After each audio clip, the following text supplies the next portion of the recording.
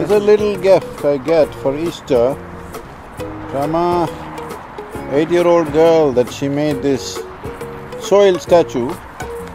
It's supposed to look like me, she put her hair and that's supposed to be my hair. And of course I got flowers, so maybe it was not me, it's her. it's all right, I can look like this.